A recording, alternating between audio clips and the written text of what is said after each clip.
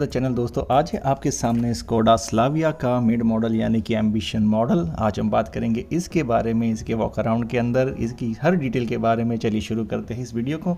सामने मिलेगा आपको स्कोडा का लोगो। क्रोम प्लेटिंग और ग्रॉस ब्रेक के साथ इसके अंदर आपको लोगो मिलेगा। यहाँ पे क्रिजिस लाइन दी गई है बोर्ड के ऊपर, काफ़ी यूज़ लगती है। हल्का सा नोज़ डाउन डिज़ाइन है इसके अंदर। सामने से गाड़ी काफ़ी अपीलिंग लगती है। यहाँ पे देंगे तो आपको स्कोडा की सिग्नेचर ग्रिल मिलेगी क्रोम सराउंडिंग के साथ और यहाँ पे आपको मिलेगी ग्लॉस ब्लैक फिनिश इसके स्लेट्स पे भी, जो कि काफ़ी अच्छी लगती है। क्रोम की प्लेटिंग भी बहुत अच्छी इस पर झच रही है। इस कलर के ऊपर खास करके यहाँ इस लुक से देखेंगे इस एंगल से देखेंगे तो गाड़ी काफ़ी खूबसूरत निकल के आती है।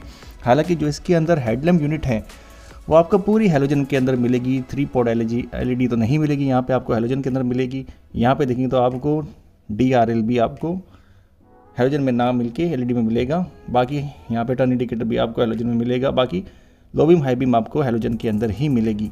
उससे नीचे आएँगे तो आपको जो इसका फॉग लैम्प है, वो भी आपको हेलोजन में मिलेगा। यहाँ पे अच्छी बात यह है कि क्रोम हटाया नहीं गया है इस मॉडल के अंदर, जो काफ़ी अच्छा लगता है, काफ़ी खूबसूरत लगती है ये गाड़ी इस एंगल से। बात करेंगे इसके साइड लुक की तो साइड लुक में आप देखिए, गाड़ी का फ्रंट क्वार्टर भी बहुत अच्छा शान शानदार लगता है यहाँ पे। मैं टायर की बात बताना चाहूँगा। एक नोटिस आप यहाँ करेंगे टॉप मॉडल से यहाँ पे मिलेंगे आपको सिल्वर फिनिश के अंदर 16 इंच के अंदर ऑयल रिम जिसका टायर साइज़ है 205 सेक्शन 55 आर 16 यानी 16 इंच के अंदर रिम दिया गया है। यहाँ पे स्कोडा का लोगो दिया गया। अगेन बहुत अच्छा लगता है प्रीमियम टच देता है ये लोगो और ज़बरदस्त निकल के आती है यहाँ से। आप देखेंगे तो आर वी एम भी आपको ऑटो फोल्ड फ़ंक्शन के साथ मिलेंगे। एल ई डी लाइट भी यहाँ पे दी गई है टर्न इंडिकेटर के अंदर। और साइड से गाड़ी काफ़ी ज़बरदस्त लगती है। इसका डायमेंशन मैं यहाँ पे मेंशन कर देता हूँ ताकि आपको सहूलियत रहे इसके डायमेंशन को जानने के बारे में। और कंपेयर करने के बारे में कि ये गाड़ी अपने कंपटीशन से कितनी बड़ी या कितनी छोटी है दोस्तों।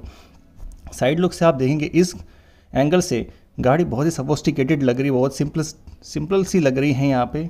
और काफ़ी अपीलिंग देती हैं। और बात करेंगे इसकी छत भी तो यहाँ पे आपको यहाँ पे सनरूफ नहीं मिलेगी इस मॉडल के अंदर।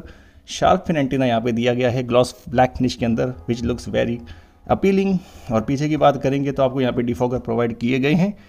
और साथ में एलईडी स्टॉप लैम्प भी आपको यहाँ पे देखने को मिलेगा which looks very great on this car और पीछे आएँगे तो इस रियर क्वार्टर से गाड़ी काफ़ी खूबसूरत लगती है।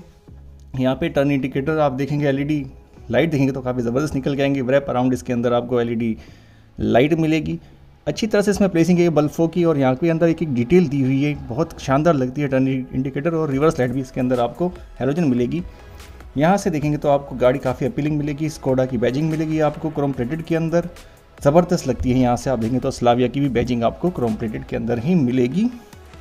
यहाँ देंगे लाइसेंस प्लेट के अंदर आपको एलईडी लाइट मिलेगी और रिवर्स कैमरा मिलेगा। यहाँ से देखेंगे तो आपको ज़बरदस्त बम्पर एरिया मिलेगा। थ्री पार्किंग सेंसर इसके अंदर दिए गए हैं। क्रोम का यहाँ पे यूज़ नहीं किया गया है। हनी मैश पैटर्न मिलेगा और आपको रिफ्लेक्टर भी पीछे दिया गया है, जो काफ़ी खूबसूरत यहाँ से दिखाई पड़ता है इस एंगल से भी। बात करेंगे इसके ओवरऑल एक बूट स्पेस के बारे में या बूट के बारे में। यहाँ से इलेक्ट्रोमैग्नेटिक मैंने बटन एक्सेस किया। कैमरा आपको मैंने दिखाया था, जो कि डायनामिक गाइडेंस के साथ इसके अंदर नहीं है। यहाँ पे देखेंगे तो आपको एक स्क्वेरिश बूट मिलेगा 521 लीटर के आसपास इसकी कैपेसिटी है। यहाँ पे आप देखेंगे तो 60 40 सीट भी आपको यहाँ पे देखने को मिलेगी।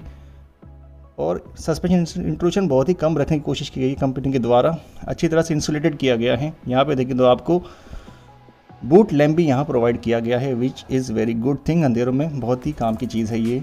और यहाँ पे देखेंगे तो इसमें पैकिंग भी बहुत ही ज़बरदस्त की गई है बूट लीड की, अच्छी क्वालिटी के प्लास्टिक के साथ। यहाँ पे देखेंगे तो आपको एक स्पेस सेवर टायर मिलेगा और साथ में इसके अंदर जो इसकी, जो भी टूल किट है, उसको इसके अंदर इंटीग्रेटेड किया गया है। यहाँ पे आप देखेंगे तो एक नीटली प्लेस्ड ये टायर लगता है। आपको कोई भी इंट्रोशन पैदा नहीं करता है सामान के लिए। बात करेंगे इसके और इंजन बे के बारे में तो यहाँ पे आप देखेंगे, ऊपर बोर्ड के अंदर कोई आपको डैम्पिंग मिलेगी नहीं। हालाँकि ये जो इंजन है, इस मॉडल के अंदर 1.0 टर्बो चार्ज टी इंजन आपको मिलेगा, जो प्रोड्यूस करता है 115 पीएस की पावर 178 एनएम का। टॉक भी ये प्रोड्यूस करता है।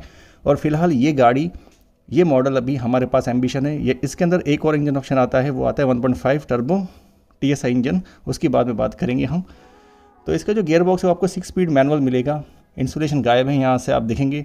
बट शायद ज़रूरत ना पड़े, यहाँ पे आप देखेंगे तो काफ़ी अच्छी तरह से इसको वेल प्लेस्ड किया गया है। यहाँ पे आप देखेंगे तो आपको फायर की जगह भी देखने को मिलेगी, जो कि कैबिन नॉइज़ को कम करने में काफ़ी मददगार साबित होती है। तो बढ़ते इसके इंटीरियर की तरफ़। यहाँ पे आप देखेंगे जो इसका दरवाज़ा है, काफ़ी अच्छे एपरेचर में खुलता है। यहाँ पे हमने इसको ओपन करके रखा है। और यहाँ पे आपको ड्यूअल टोन का आपको यूज़ मिलेगा। यहाँ पे आप देखेंगे इसकी कीज़ को तो यहाँ पे आपको जैक नाइफ यानी कि फ्लिप की आप कह सकते हैं इसको। यहाँ पे लॉक अनलॉक और बूट इसका आपको बटन मिलेगा। और पीछे आप देखेंगे तो आपको स्कोडा का लोगो मिलेगा। काफ़ी सिंपल डिज़ाइन इसके अंदर रखा गया है। काफ़ी सिंपल डिज़ाइन फिलोसफी हालाँकि इस गाड़ी की, इस कंपनी की होती ही होती है। यहाँ पर आप डोर पैनल देखेंगे। तो यहाँ पे आपको क्रोम का हैंडल मिलेगा और साथ में आपको प्लस ब्लैक के सराउंडिंग मिलेगी। और थोड़ा क्लोजली देखेंगे तो आपको यहाँ पे कुछ पैटर्न मिलेंगे, कुछ टेक्सचर काइंड ऑफ़ डिज़ाइन मिलेगा यहाँ पे आपको। हार्ड प्लास्टिक हालाँकि यूज़ किया गया है हर जगह पे। और यहाँ पे आप देखेंगे तो यहाँ पे आप देखेंगे तो इस सेक्शन को मल्टी कलर इसके अंदर यूज़ किया गया है। यहाँ पे आपको अच्छा एक दीम दिया गया है ड्यूअल टोन का। सॉफ्ट टच मटेरियल के तौर पे यहाँ पे फैब्रिक का यूज़ किया गया है। यहाँ पे पावर विंडो स्विचेस मिलेंगे आपको, लॉक मिलेगा पावर विंडो, लॉक और भी को कंट्रोल करने के सारे स्विचेस मिलेंगे आपको। वन लीटर बोतल होल्डर यहाँ पे देखने को मिलेगा और इस वायर से आप अपनी कोई भी चीज़ को फंसा के उसको होल्ड कर सकते हैं। साउंड की ब्रेसिंग यहाँ पे की गई है। पैटर्न काफ़ी अच्छा है यहाँ पे डोर पैनल का। यहाँ पे देखें तो सीट आपको फैब्रिक के अंदर मिलेगी जो कि सिक्स वे एडजस्टेबल है। ड्राइवर हाइट एडजस्टमेंट इसके अंदर दी गई है मिड मॉडल के अंदर, जो कि काफ़ी अच्छी बात है। क्लच ब्रेक और एक्सीटर की प्लेसिंग भी काफ़ी अच्छी की गई है। अभी थोड़ी देर में आपको बताता हूँ उसके बारे में। यहाँ पे आप देखेंगे तो डेड पेडल आपको देखने को मिलेगा, जो आप हाईवे पेज को अच्छी तरह से आराम से यूज़ कर सकते हैं, सहूलियत भरा होता है। यहाँ पे आप देखें तो ए पैडल के अंदर स्पेसिंग भी काफ़ी अच्छी दी हुई है। कोई प्रॉब्लम की बात इसके अंदर है नहीं। इस इवेंट आपको राउंड शेप के अंदर मिलेंगे क्रॉम सराउंडिंग के साथ, और साथ में आप देखें तो इसके अंदर पियानो ब्लैक फिनिश का भी टच दिया गया है। यहाँ पे आपको कॉपर की एक स्ट्रेट लाइन मिलेगी, जो कि दोनों एसी इवेंट को कनेक्ट इंटरकनेक्ट करती है। आगे दिखाऊँगा मैं इसको भी। यहाँ पे हेडलैम्प स्विच दिया हुआ है हेडलैम्प लेवलर यहाँ पे दिया हुआ है, यहाँ पे एक छोटा सा एक यूटिलिटी स्पेस दिया गया है ड्राइवर के लिए, जो उसको यूज़ कर सकता है, अपनी छोटी मोटी चीज़ वाइल्ड ड्राइविंग रख सकता है। स्टार्ट स्टॉप बटन यहाँ पे आपको मिलेगा, जो कि एल्यूमिनेटेड है और आपके साथ, उसके साथ क्रोम प्लेटेड भी है। यहाँ पे देंगे तो इसके ओवरऑल स्टेयरिंग व्हील को टू स्पोक स्टेयरिंग व्हील आपको मिलेगा। लेदर रैपिंग की हुई है यहाँ पे, आप देखेंगे तो आपको ब्लैक फिनिश मिलेगी पियानो ब्लैक फिनिश और यहाँ पे आप देंगे तो MID को, यानी कि इसके इंस्ट्रूमेंट क्लस्टर को कंट्रोल करने के सारे स्विच मिलेंगे आपको। स्क्रॉल स्विच भी क्रोम का दिया हुआ है और यहाँ पे आप देखेंगे तो आपको वॉइस कमांड के साथ साथ इंफोटेनमेंट सिस्टम को कंट्रोल करने के स्विच मिलेंगे। सारे के सारे यहाँ पे अच्छी क्वालिटी के इसके अंदर स्विच मटेरियल यहाँ पे दिया हुआ है। सेंटर में आप देखेंगे तो स्कोडा का लोगो है एयर बैग की प्लेसिंग है। ये इसकी 10 इंच की टच स्क्रीन है और यहाँ पे आप देखिए इसका रिवर्स कैमरा अच्छी खासी क्वालिटी के साथ आता है। Not the best not the worst काफ़ी डिसेंट क्वालिटी के साथ इसका कैमरा आता है। तो यहाँ पे आप देखेंगे तो आप काफ़ी डिटेल इसके अंदर एक डिटेलिंग दी गई है। यहाँ पे आप देखेंगे डिज़ाइन यहाँ पे नर्लिंग पैटर्न दिया गया है क्रोम की फिनिश दी गई है। क्रोम चिप्स दी हुई है यहाँ पे नर्लिंग के साथ साथ यहाँ पे देखेंगे तो आपको ग्लॉस ब्लैक फिनिश भी मिलेगी यहाँ पे। एसी वेंट भी काफ़ी वेल इंटीग्रेटेड है। यहाँ पे आपको हेजर्ड का स्विच भी मिलेगा। हर जगह पे काफ़ी डिटेल की गई है, हालाँकि प्लास्टिक क्वालिटी थोड़ी सुधार सकते थे स्कोडा इसके अंदर। यहाँ पे आप देखेंगे तो आपको एयर कंडीशनर यूनिट मिलेगी जो कि पूरी कैपेसिटिव टच के साथ है और इसका रिस्पॉन्स भी काफ़ी अच्छा है। यहाँ पे आपको डीप सा एक स्पेस मिलेगा। यहाँ पे देखेंगे तो टाइप सी के यूएसबी चार्जर आपको मिलेंगे। यहाँ पे आपको इसके सिक्स स्पीड के गियर को कंट्रोल करने का एक लीवर मिलेगा और यहाँ पे देखेंगे आपको तो आइडियल स्टार्ट स्टॉप का बटन मिलेगा और साथ में यहाँ पे देखेंगे तो आपको गाड़ी को लॉक अनलॉक करने के बटन मिलेंगे। यहाँ पे देखें तो आपको 12 बी का एक सॉकेट मिलेगा, जिससे आप अपना चार्जर और अदर डिवाइस यूज़ कर सकते हैं। कॉइन होल्डर यहाँ पे दिया गया है, बेवरेज होल्डर यहाँ पे दिए गए हैं। हैंड ब्रेक भी आपको देखिए, ग्लॉस टिप के साथ दी गई और एर्गोनॉमिकली काफ़ी अच्छी प्लेसिंग है यहाँ पे। ड्राइवर आर्मरेस्ट भी देखिए, स्लाइडेबल और एडजस्टेबल है। और साथ में यहाँ पे देखेंगे तो आपको एक स्टोरेज मिलेगी, जिसके अंदर आप अपना कुछ भी सामान रख सकते हैं। इस गाड़ी का कैबिन एमिनस काफ़ी लाजवाब है। यहाँ पे आप देखेंगे तो मैं इसके डैशबोर्ड का एक लेआउट दिखाना चाहूँगा आपको। यहाँ पे हार्ड प्लास्टिक का यूज़ किया गया है। यहाँ पे ग्लॉस फिनिश है स्कोडा की बैजिंग यहाँ पे की गई है और यहाँ पे एक छोटा सा कभी होल दिया गया ताकि अपनी चीज़ें आप रख सकें। हार्ड प्लास्टिक का यूज़ किया गया। यहाँ पे आप देखेंगे तो पूरी स्ट्रिप आपको कॉपर के अंदर मिलेगी, जो काफ़ी अच्छी लगती है। यहाँ पे पियानो ब्लैक फिनिश की आपको ऑप्शन मिलता है। ग्लव बॉक्स इसका डिसेंट साइज़ का है और साथ में ये कूल्ड है बट इल्यूमिनेशन इसके अंदर दी नहीं गई है। अगर दी होती तो काफ़ी अच्छा रहता। और यहाँ पे आप देखेंगे इसका ओवरऑल एक एम्बियंस काफ़ी अच्छा निकल के आता है। आपको यहाँ पे आप देखेंगे तो एक ट्विटर की प्लेसिंग मिलेगी ए पिलर के ऊपर जो ए पिलर का साइज़ है वो भी अपना में काफ़ी सपोस्टिकेटेड सा है। आपको ब्लाइंड स्पॉट तो आई थिंक नहीं होगा, उसके बारे में हम ड्राइविंग में बात करेंगे और सन ब्लाइंड के अंदर यानी कि सन वाइजर के अंदर आपको एक वैनिटी मिरर मिलता है और यहाँ पे देंगे तो एल लाइट का यहाँ पे ऑप्शन मिलता है, आपको बटन्स मिलते हैं और यहाँ पे देखेंगे तो सन ग्लास होल्डर भी दिया गया है जो कि काफ़ी सहूलियत भरा हो जाता है।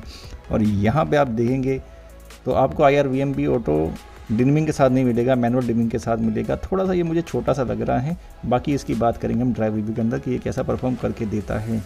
और अगर देखें इधर के सन वाइज़र के अंदर तो आपको कुछ नहीं मिलेगा, टिकट होल्डर यहाँ पे मिलेगा। उसके अलावा इसके अंदर आपको कुछ भी प्रोवाइड किया गया नहीं है। तो चलिए बात करते हैं इसकी और डिटेल्स के बारे में, इसके इंस्ट्रूमेंट क्लस्टर के बारे में एमआईडी के बारे में। तो जैसे आप यहाँ पे देखेंगे और इसको इग्नाइट करेंगे इग्निशन देंगे तो देखेंगे इसका स्पीडोमीटर कुछ इस तरह से आपको वार्निंग लाइट्स और स्कोडा का लोगो दिखाएगा और यहाँ पे एक वार्निंग भी दिखा रहा है यहाँ पे कि 12 वी बैटरी सिस्टम थोड़ा सा आपका डाउन है और यहाँ पे रिफ्यूलिंग की ज़रूरत है इस व्हीकल को। यहाँ पे आप देखेंगे ए वगैरह पार्किंग की लाइट हर लाइट आपको यहाँ देखने को मिलेगी। यहाँ पे देखिए कुछ इसका लेआउट कुछ ऐसा है। मेरे ख्याल से तीन इंच की इसके अंदर एमआईडी दी गई है। इसकी फंक्शनलिटी बताऊँगा मैं आपको थोड़ा सा और इसके अंदर। ये देखिए इसका कुछ इल्यूमिनेशन इस टाइप का है। यहाँ पे देंगे तो आपको स्पीडो मीटर मिलेगा। राइट हैंड साइड पे लेफ़्ट हैंड साइड पे टैकोमीटर और साथ में फ्यूल गेज और टेम्परेचर गेज भी आपको एनालॉग मिलेगा। यहाँ पे देखिए telephone vehicle data driving data audio telephone vehicle status यहाँ पे सारी चीज़ आपको देखने को मिलेगी। और ये इसके फंड्स भी काफ़ी ठीक ठाक है अपने आप में। ज़्यादा ना बुरे लगते हैं, ना ज़्यादा अट्रैक्ट करते हैं। आपको काम एक डिस्प्ले देती है। और यहाँ पे देखेंगे तो इसका टेंथ इंच का डिस्प्ले, जो देखने में काफ़ी अच्छा है। इसका कंट्रास्ट लेवल भी काफ़ी अच्छा है, बहुत अच्छा लगा मुझे। और फॉन्ट्स भी काफ़ी सिंपल दिए गए हैं इसके अंदर, आप देखेंगे तो। और इसको पढ़ने में कोई इशू नहीं आएगा आपको।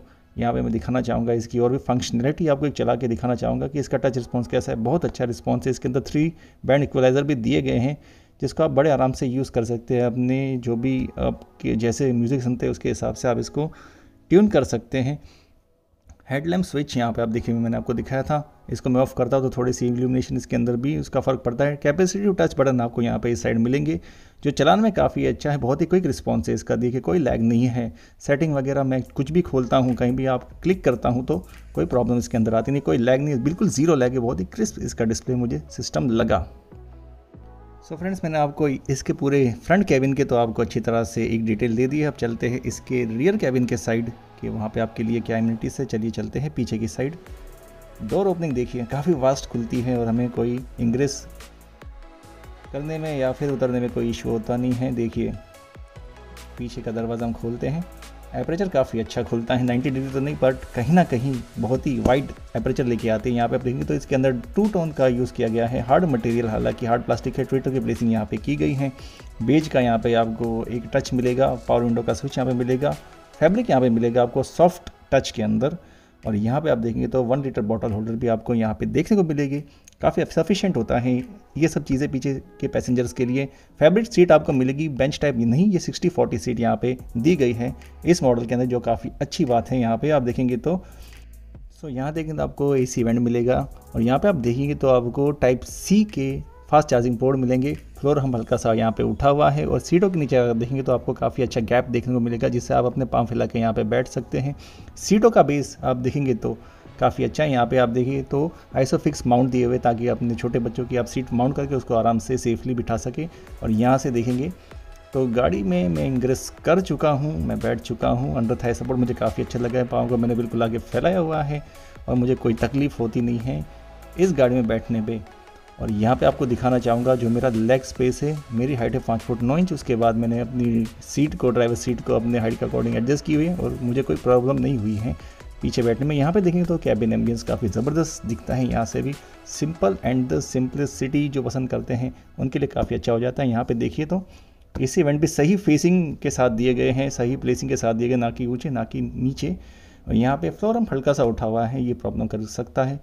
बिल्ड के पर्सन के लिए, हालाँकि मीडियम बिल्ड के लिए कोई प्रॉब्लम होगी नहीं, यहाँ पे आप देखेंगे तो इसके जो सारे के सारे हेडरेस्ट हैं, वो आपको एडजस्टमेंट के साथ मिलेंगे चाहे फ्रंट हो, चाहे रियर, और पीछे तीन हेडरेस्ट दिए गए, जो कि अच्छी बात है, और यहाँ पर आप देखेंगे इसका सेंटर आर्मरेस्ट जो अच्छे एंगल के साथ दिया गया है, आप देखेंगे तो अच्छी क्वालिटी के साथ दिया गया है। दो बेवरेज होल्डर्स के अंदर दिए गए, ताकि आप सफ़र के अंदर इसको यूज़ कर सकें अपनी सहूलियत के हिसाब से, और यहाँ पे देखेंगे आपको ग्रैप हैंडल्स मिलेंगे। हुक के साथ और यहाँ पे आप देखेंगे तो आपको एलईडी लाइट मिलेगी सेपरेट सेपरेट दोनों पैसेंजर्स के लिए, जिसको आप अपनी सहूलियत के हिसाब से यूज़ कर सकते हैं सफ़र के दौरान अंधेरों में।